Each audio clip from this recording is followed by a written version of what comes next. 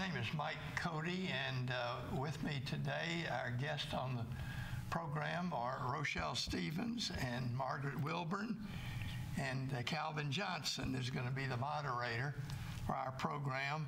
Uh, this is a pretty historic uh, interview. Uh, uh, Olympic uh, medal winners are going to tell us about uh, their generations of, uh, of stardom in the Olympics representing the United States. And uh, to ask them questions is um, a former uh, athlete that ran for Margaret Wilburn's uh, uh, husband, Jesse Wilburn, uh, in high school. And Jesse was a friend of mine uh, as we organized the track clubs here in Memphis. And uh, Calvin Johnson is the fastest miler that ever uh, grew up here in Memphis and uh, still holds that record. So, Calvin, why don't you introduce our guest and get them to talk Okay. about what uh, y- Yeah. y'all are interested in? All right. Next to me is Miss Miss Wilburn. I always refer to her as Miss Wilburn. You know, from the first time I heard about her, and uh, I had the privilege uh, and uh, honor to run for uh, Coach Wilburn at, at Melrose High School, and it started. Uh, my association started with, with the track team in 1964 when I was a uh, trainer for the team, and uh, I think we had a, a, a run at Melrose that's probably still uh, second to none. Um, that year, when when the schools were still segre- segregated, Melrose finished second in the state uh, to Pearl High School. The next year, 1965, when I became a member member of the team, we were the first high school team, a predominantly black uh, high school, to win the uh, integ- integrated uh, state championship, the first integrated state championship in the state of Tennessee, coached by uh, Coach Wilburn, who's from the same. We were from the same neighborhood, from the Beltline, a part of Orange Mound. Um, from the next year, uh, 1966, we finished. We won everything except for one regular track meet, and we finished second in the state, and we finished second in the region. Now we won the region, we won the district. My senior year, we won everything except for the district and region state. We finished second in the district. We finished second in the region. We took four men to the state and came in fourth place. And we had one individual who was disqualified, Terry Addison, who had set a record for the 440-yard dash and was disqualified for stepping outside the lane. He made one step outside the lane. So during that time uh, with, with Coach Wilburn, we went from uh, state champions. We were runner-ups, fourth place. My, my three years as uh, actually running and, and one year as a trainer. Uh, but Miss Wilburn was a legendary uh, Tiger Belle. Uh, ran with with the great Wilma Rudolph, and uh, who's known throughout track and field as one of the, if not the greatest, I think, female runner in the history of, of, of track and field. First person to win three gold medals in, in Olympics, and Miss Wilburn, they were roommates uh, at Tennessee State. Uh, and my association with Mr. Wilburn goes, it's really deep. Uh, you know, I went to Tennessee State. I didn't marry Tiger Belle, but she, she coached. Uh, she she taught my wife at Hamilton High School, and uh, so um, we just like family. Her, her brother-in-law and I grew up together, and uh, just a big family. Uh, and Miss Wilburn, uh, I remember in high school, you know, I would just I heard about Miss Wilburn. You know, you know, and, you know, Coach Wilburn was like he was back then he was everything and, and something at Melrose. And all we heard was you know he was married to a Tiger Belle. She looked real nice. I was scared to look at her probably about you know a couple of days ago you know a couple but we just heard you know uh, about her appearance and, and she was a Tiger Belle. That was the biggest thing I had ever heard in my life you know. And uh, it was just it was just just a nice person always been the same and uh, I recall after uh, track meets uh, at the old fairground stadium, Mike. I remember you know about the old fairground stadium. Uh, she would give me a ride home, you know, and she always she always referred to me as Johnson. She said, "Okay, good job, Johnson, good job." So she would always be at every meet, uh, or every meet I, I, I can recall. She was there, you know, sitting uh, right above us or uh, next to Coach Wilburn. So uh, I appreciate her, uh, her uh, encouragement, friendship, and a mentor to my wife. And she can uh, tell a little bit about herself and a little bit more. And we got uh, beside hers to, uh, also from the great Melrose High School's Olympian, Miss Rochelle Stevens, who participated in two Olympics. So Melrose is we're known for producing the best and trying to be the best. So that's what it's all about. Uh, Ms. Wilburn?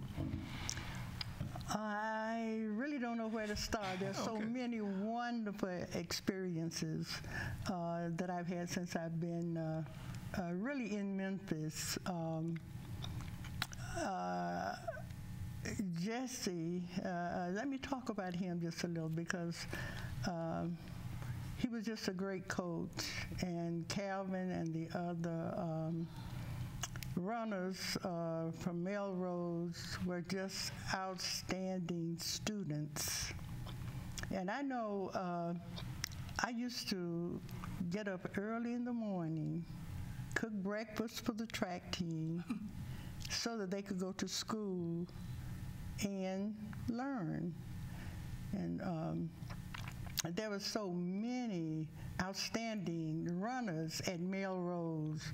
Uh, you had uh, Willie Dawson there, uh, Bobby Smith uh, was in that group, uh, and uh, Sheila Echols was one of the outstanding young ladies that ran, and Gardner was there, and of course, my goddaughter, Rochelle Stevens, who reminds me so much of Wilma Rudolph. Uh, and she just has won so many wonderful races, and she is such an outstanding person, and I, I'm just so proud of her. But let me get back to uh, Calvin's uh, wife. Denise was a student at Hamilton High School and she was my uh, administrative assistant.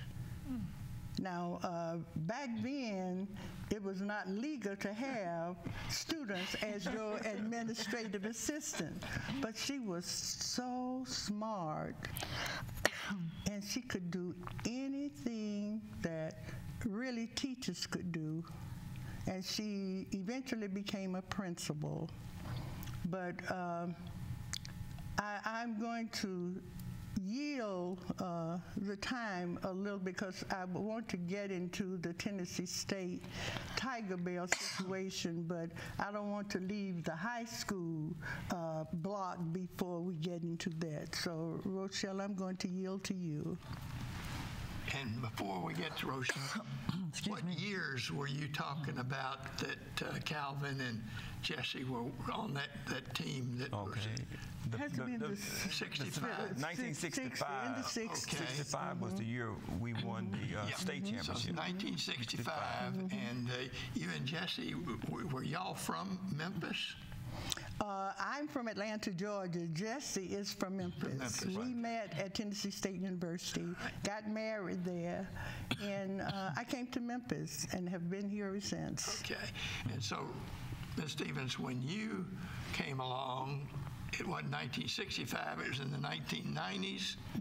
I'm you- an 80s baby. 80s, okay. So you, but you were at Melrose as well, and you were from Memphis, Right.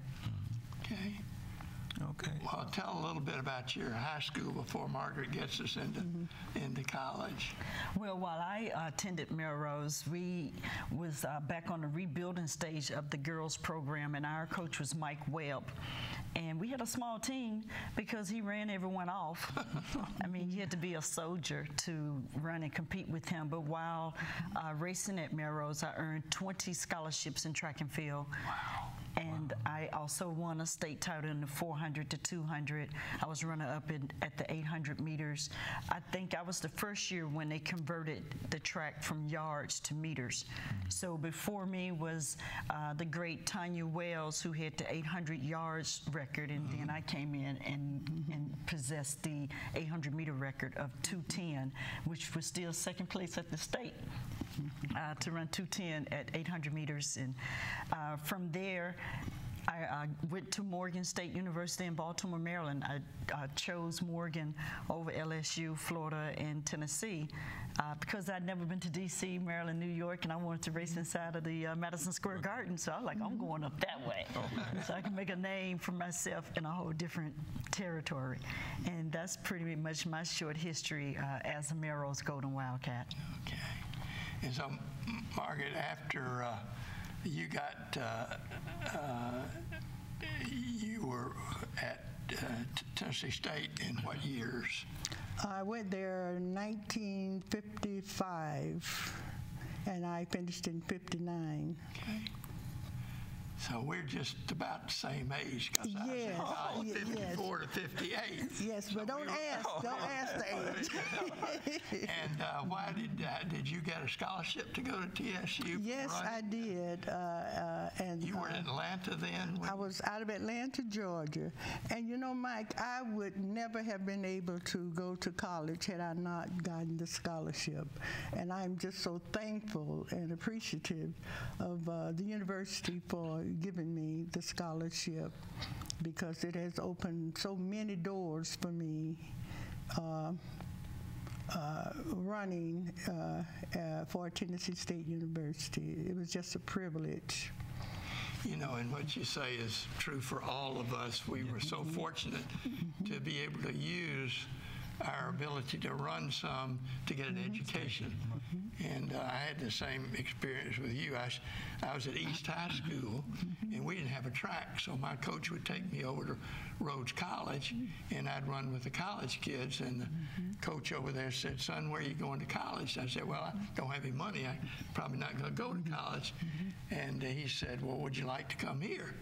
I said, "Well, sure, but you know, I don't have any money." He said, "Never will forget, the division um, Rhodes couldn't offer athletic scholarships. It, they didn't have it in that division. So he said, "Well, son, I know you can run, but can you? Do, did you do anything in school other than run?"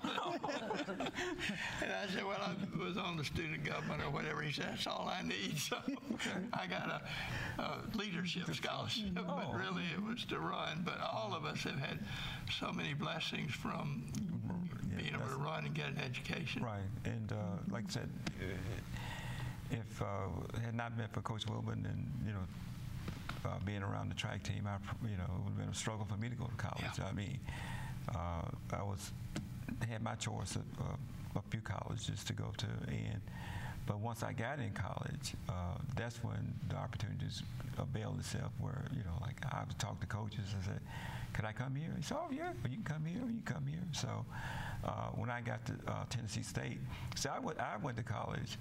Uh, I, when I left Melrose, you know, I thought I was it and a cup of tea and everything else. Uh, so uh, it took, you know, it took. Well, when I went there, there were no distant runners.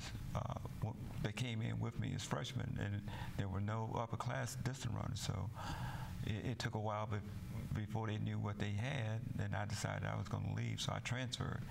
Came to uh, Memphis back then, Memphis, Memphis State, State, yeah. and uh, you know, on a uh, scholarship there. But uh, it was all because of uh, Coach Wilburn Yeah. and the opportunity, the things that he taught us. But when I went to, you know, when I went, when, we went, when I went, uh, I was ready. I mean, all I needed was somebody to work with me because we worked in Melrose. I mean, we we worked. Coach Wilburn. I mean, I mean, uh, and he was fair. Uh, what I like, we didn't run anybody off. You, you became to practice and you did what he said.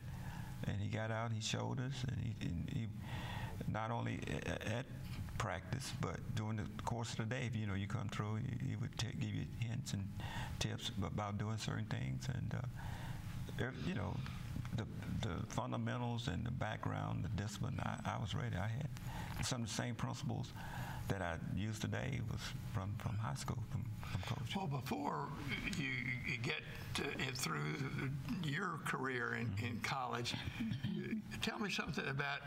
Uh, you said Jesse would show you what to do. Yes. Had Jesse been a, a runner himself? Had he uh, participated uh, in, in in track and? Uh, from understanding, I, I, I believe he did at Melrose. I don't know if he, I, when I when I talked with uh, when I had, had the strength, I mean the courage to ask him stuff.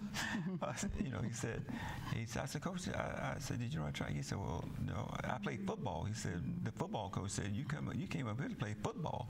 So I, I don't, I don't know if he got an opportunity to actually run track, but he was All American at uh, Tennessee State. Um, In football. in football. Yeah. Yeah. Well, I'm sure he got his tips from my godmother, who uh, is a 1956 Olympic bronze medalist, and she is the former American record holder in the broad jump. So I'm sure he was saying, uh, Margaret, what, what my team need to do, and, and he would go back and, and execute and, Yeah. and, and run you all in the ground. I'm sure he got all those good gold medal and silver and bronze medal tips from his beauty queen that was sitting I wish house. that was true.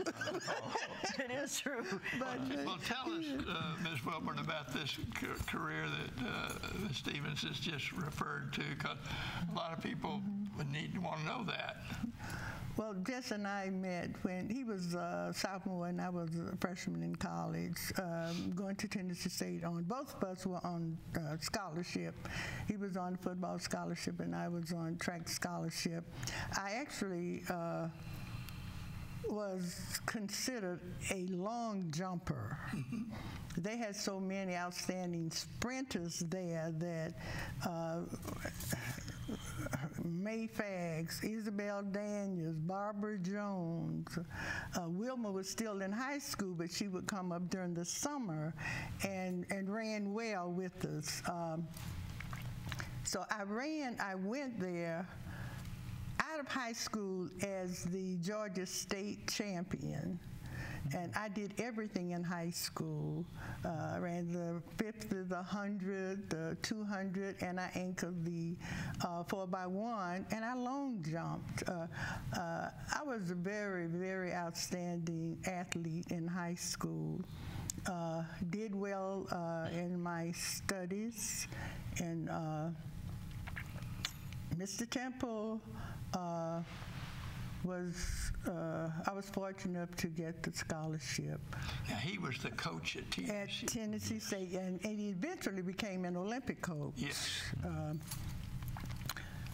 we went to the tryouts, and uh, I was setting American records all over the place in the long jump. So uh, we got to uh, Melbourne.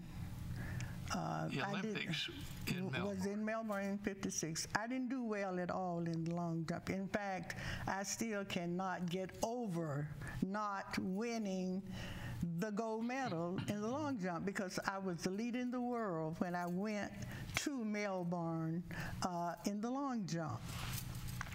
So I didn't do well, didn't qualify. I couldn't make it out of the first round.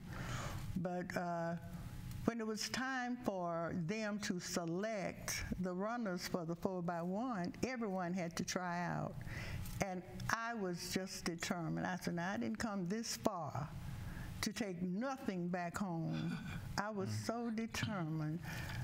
I was fortunate enough to uh, run faster than uh, most of the girls, so I was on the relay team.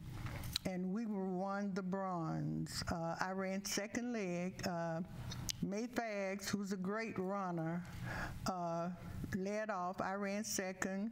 Had the opportunity to pass the baton to Wilma, who was in high school at the time. She did well, and Isabel Daniel, who had placed fourth in the 100, anchored. And we were so happy. Now, during this time, we got third place, but the first three teams also broke the world's record in that meet. The first three teams. Uh, no one expected us to do that well. so we got the, uh, I got the bronze, and from then on, it was uh, uphill, and uh, I, I'm just, I'm just so appreciative to have had, to have been given the opportunity to run and represent the United States. And where is that bronze medal now?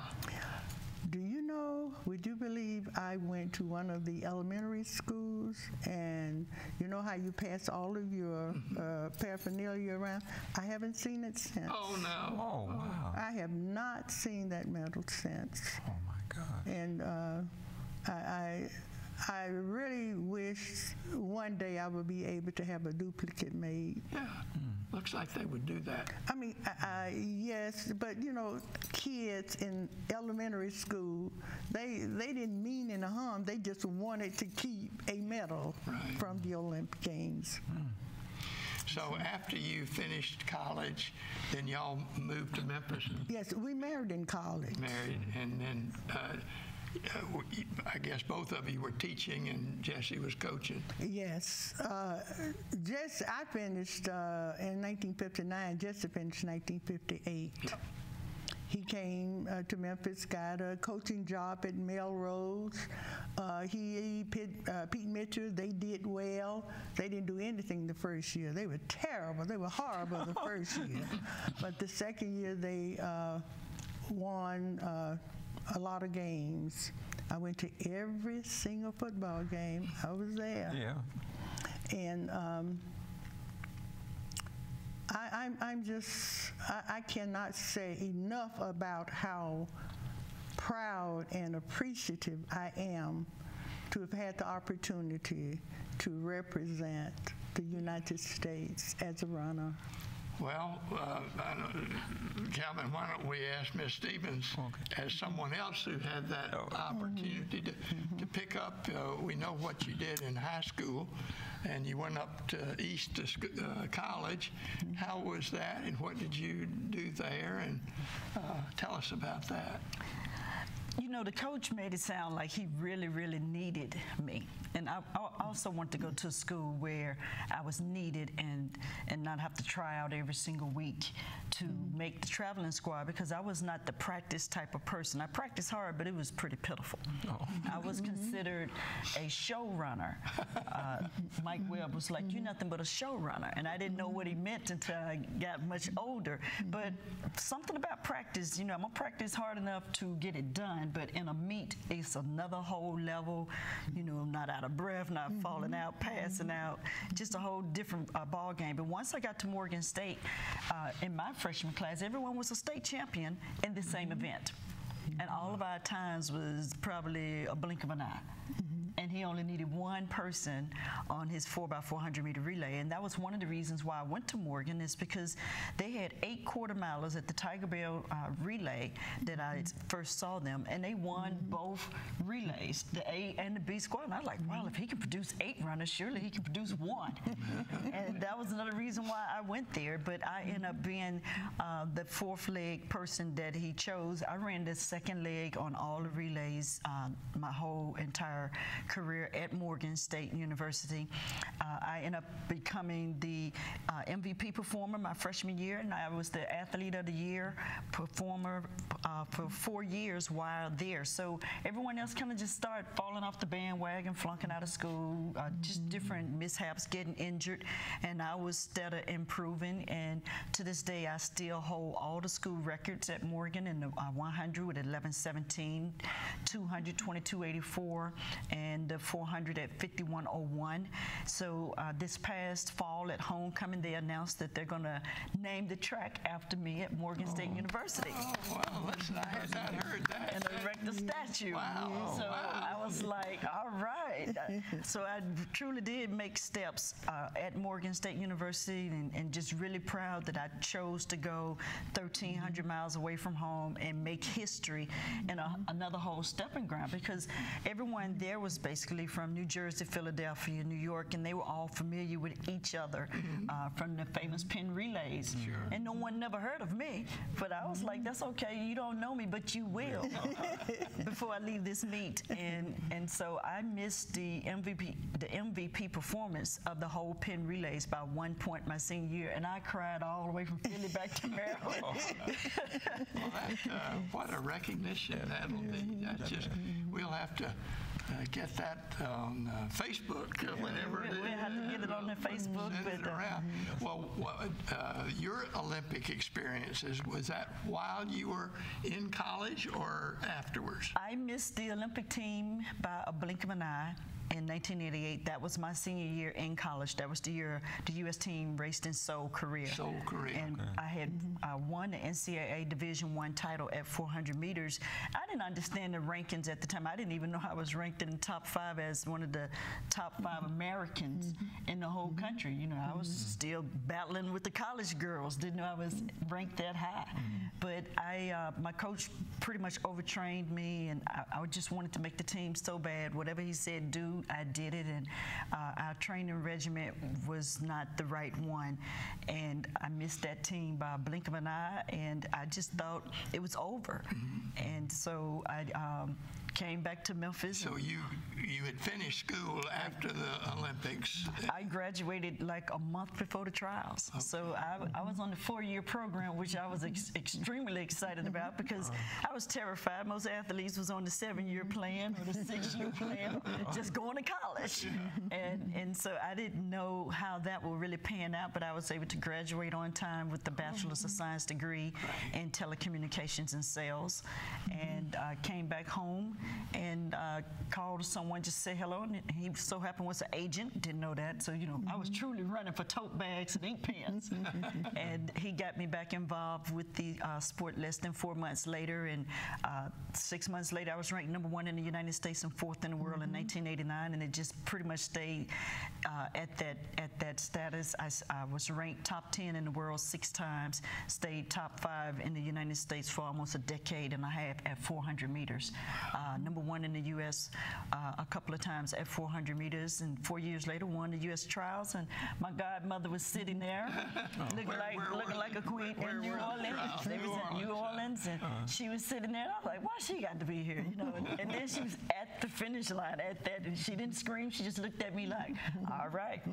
You know, she gave me that look. I think I was more afraid of her than I was the And that was the competitors. 400? The 400 meters, and I. So I went from missing the Olympic team by a blink of an eye to being the U.S. Olympic trials champion four years later, and pretty much just stayed on top. And, and where were the Olympics that year? Barcelona, Spain. Barcelona. So that was uh, when you uh, were uh, representing the United States at uh, Barcelona. Yes, we we came home with the silver medal because uh, that Russian man Oh. had outpowered me. Oh. You know, she, Oh, so it wasn't maybe had some. she had those oh, sideburns and the hair on her chest and the whiskers, and, and I did all I knew from my Orange Mound skills. I mean, I gave it the elbow, I uh-huh. took out the lane two, uh-huh. we battled it all the way, and at the end of the race, she came back and kissed me on his cheek like, "Wow, an American has never, ever challenged me because, you know, the great FloJo couldn't even mm-hmm. touch her uh, in the 88 Olympics. She ran a 47 split uh, for the 400 meters. 47. Wow.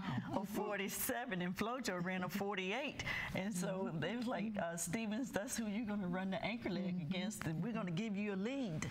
So, Well, so when- the first she beat uh, he she beat you in the uh, open 400. which, of course, she she beat you me got in the that silver there. No, that was on the relay. I finished sixth place In in, the the, open 400, 100 in lane one with 50-11.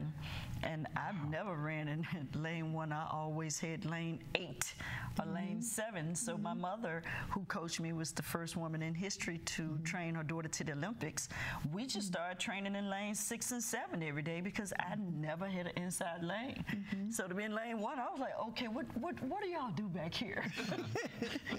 but I didn't uh, realize until I, I looked at the tape uh, six months later that it was four of us right there battling for the bronze. But I never knew it because I was in lane one. I just felt that I mm-hmm. wasn't in the race and, and I just ran for time.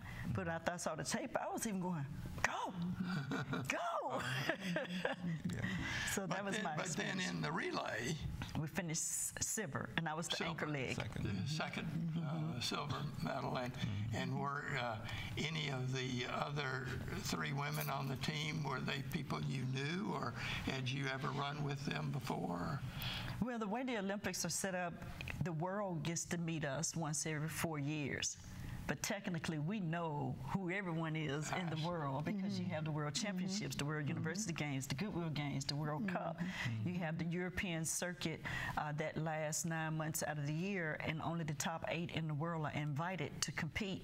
Uh, we're known all over the world in Europe mm. because it's the second largest sport to soccer. So we're on television every day, like the NBA is here. And so we knew each other and the rest of the world just get a chance to meet us once a year, once every four mm-hmm. years. And Barcelona was what, year 50? 92. 92. 92. 92. In And then Atlanta. four years later, Atlanta, Yeah, 96. 96. But you didn't run. I ran there. Mm-hmm. We won the gold. That's the goal. Oh, that was the goal. You've been oh. hiding the, hiding the greatest uh, last. All right. So what, what, what leg did you run on, on the mm-hmm. in Atlanta? What leg? I was the first leg in First leg, Atlanta. okay. So whatever the most complicated leg was, it seemed like I would always be the one to run the most complicated leg because I was not afraid to compete uh, whatever wherever they needed me the most. Okay. And, and and my attitude at that time was, okay, we were predicted to win the bronze, but a lot of us was like, this may be our last chance to run in the Olympics, and we definitely got to keep this gold medal here. But my attitude was like, okay, well, if we don't win and I'm the first leg, everybody's gonna know that I was at the Olympics because the camera's gonna be on me. because when you don't win, they don't go to second. Okay, yeah. And- but we end up winning, so I end up getting that double was, time. That was Michael Johnson's Right, year with the gold shoes. with the I, gold I and, saw and it. the I was right and 400. there Okay. on the 50 yard line when he did it. All right. So who who else was on that team with you? The On the- gold, the, the, my teammates, uh, the first leg, I was the first, First leg. leg, and Maicel Malone was second leg out of Arizona State. Uh-huh. Uh, Kim Graham out of Clemson, and Jearl Miles from Alabama A&M was our anchor leg. Oh, so you uh, had you were at uh, Morgan State and We, we all was out of college. by yeah, I'm saying, but you had uh, Right. uh, Morgan State and uh, Alabama. And Alabama. So we had two schools from HBCU Yes. to, to step up. Uh, in fact, there are only 45 athletes with medals that graduated from HBCUs in the history of the Olympics. Oh, okay. And Most we're of them are from. list. Yeah, I guess most of them would be have to be from. Would uh, a great number would be from Tennessee State. we, we were. They were the Yeah, oh, forerunners. yes, that's right. Yeah. Yeah. Yeah. because I remember my freshman year at Tennessee State. Uh, she probably don't remember me, but I, I used to.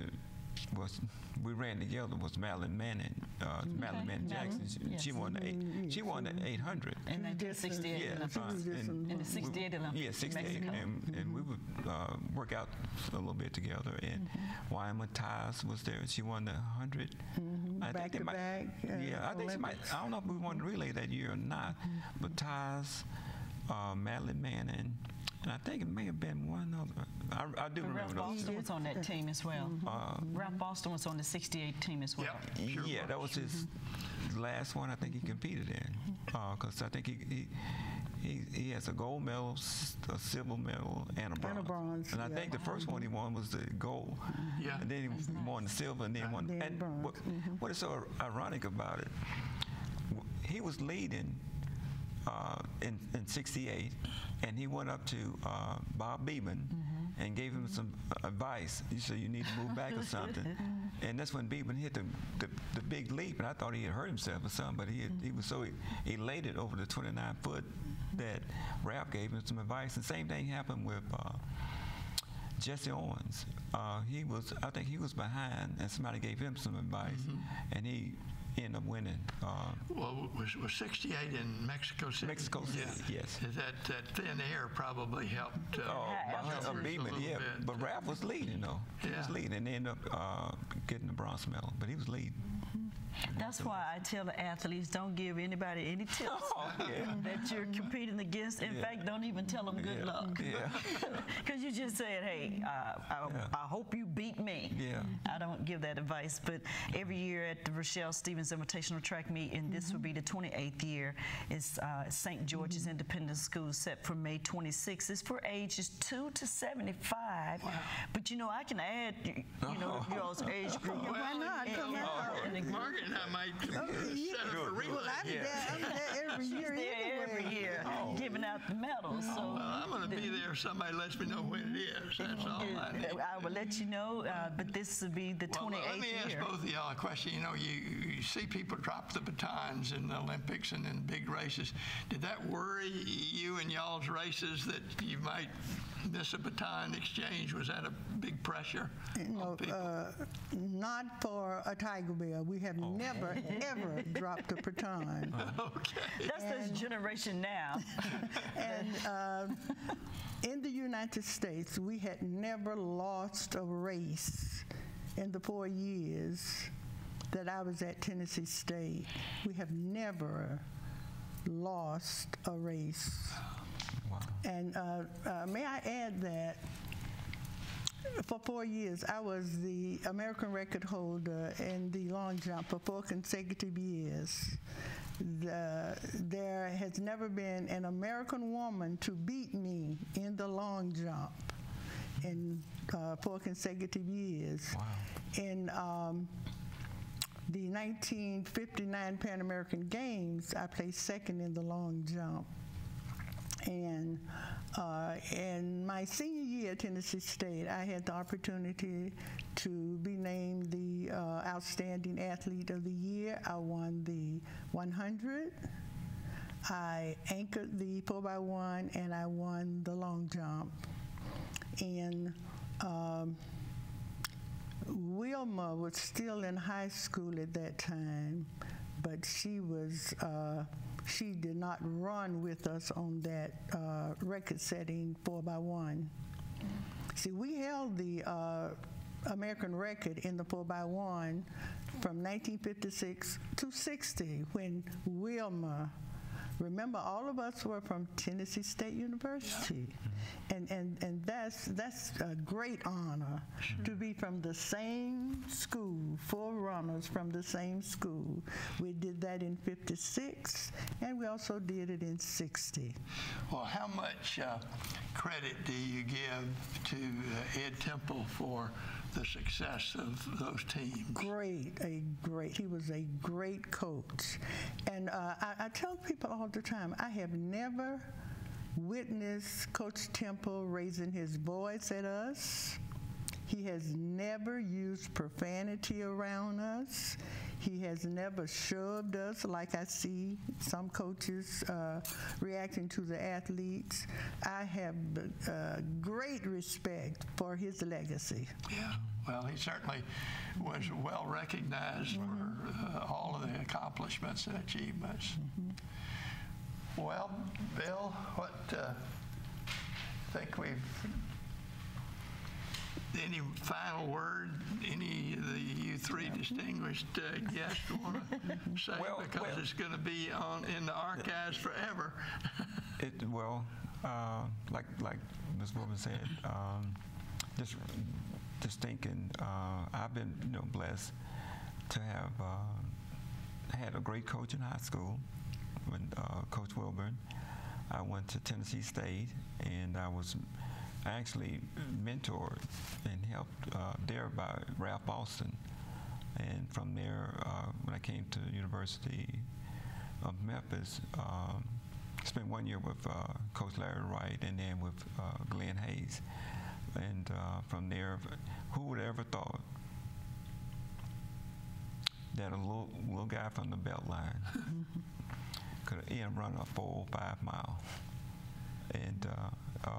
It hadn't been beaten yet. I bet. well, I don't know about, but yeah, uh, and and, and uh, well, it was just from you know grace of God for, for, for the ability, but I didn't I didn't know I had it, and just happened to uh, uh, just be, was directed by some great coaches and great people, and uh, from Well, and Ms. Stevens and Ms. Wilburn uh, probably know this, but, and we, we've talked about it before. Uh, When you were right at the peak of your ability, your coach said, why don't you go in the service? Yeah. Keep running. and, uh, I said, uh, you I said, oh, well, that was Vietnam. You know, I said, oh, I don't know. But that was, that was probably the worst mistake I ever made, was not doing it because I was, uh, I, was. I, I was on the brink of being the first uh, black person to break four minutes. Uh, the, the year I came out, um, the guys that were ranked ahead of me were uh, first guy to do it. Um, uh, his name is forgot. It slipped my mind. He was from Cincinnati. He was University of North North Carolina, and had one guy, um, uh, Fulton. I think he was from uh, Texas Southern. He, those were the first two. But Reggie McAfee, that was his name. And I ran against Reggie at um, the I think it was the Dogwood Relays up in Knoxville. But uh, um, yeah, about one more year. Well, you, you, you missed that, but you Yes. had a lot of uh, wonderful Yes. uh, experiences, and Yes. family, and Right, all those things that if you'd gone to Vietnam, it might not have ended up Oh yeah, I you know. You it never to. know. Yes, you never know. Because you know, I, I uh, Rochelle and I talk a lot because she she loves children. She loves to help children, and uh, I tell her all the time. Uh, we talk about uh, track and what track has done for us, and we talk about track really opens the door for you, but the education part keeps it open Yes. and I, I am um, uh, so proud of her. She has uh, just received her doctorate, Congratulations. and she is Dr. Rochelle Stevens, and um, uh, she just continues to help these children learn her meet. And I really wish you would come out. Uh, everyone come out to the Rochelle Stevens meet. Just, just let, let us know about it. We'll be there. Right. And we'll correct the record on this, Dr. Rochelle. Doctor. Yes, yes, oh, she's Dr. Rochelle. wonderful. It's official. I, I actually dropped tears over the PhD. I didn't drop any tears for the gold medal, but I dropped some tears for that PhD. like, And. I'm sure when, when you talk to young people, you can talk about the value of both your Olympic experiences and your educational experiences, and how, as Ms. Wilburn said, that's what keeps you going, the education experience, when uh, some of us get broken down and can't run quite like we used to. Well, uh, thank you uh, all for being here. It's been most interesting for me, and Bill, we'll just close it down. That's the way it works. Okay. All right.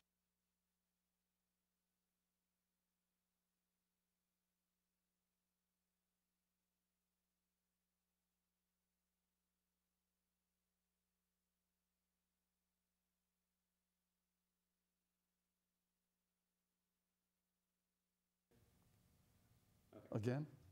Oh. oh, y'all are good, y'all are good.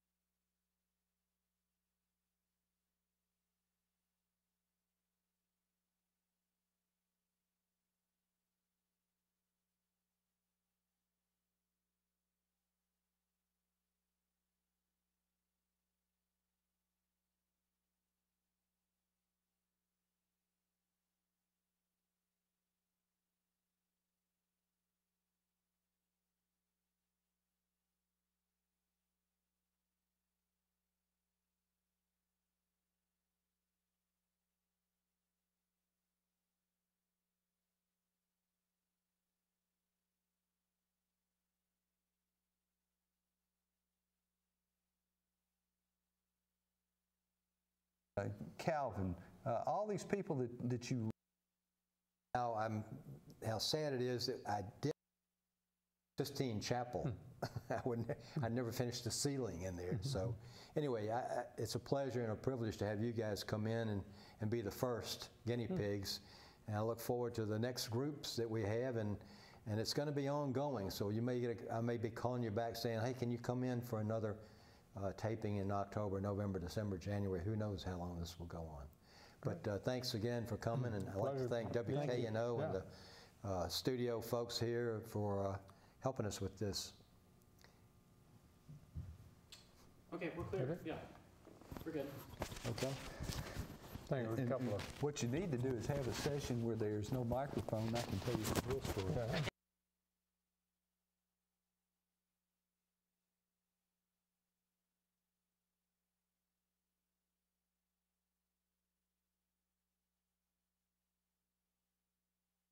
School, also known as MUS.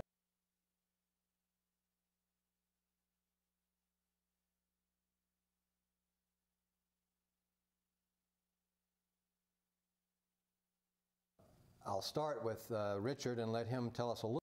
This is Bill Butler. Okay, so everything good? One, two, three, four, five, six, seven, eight, nine,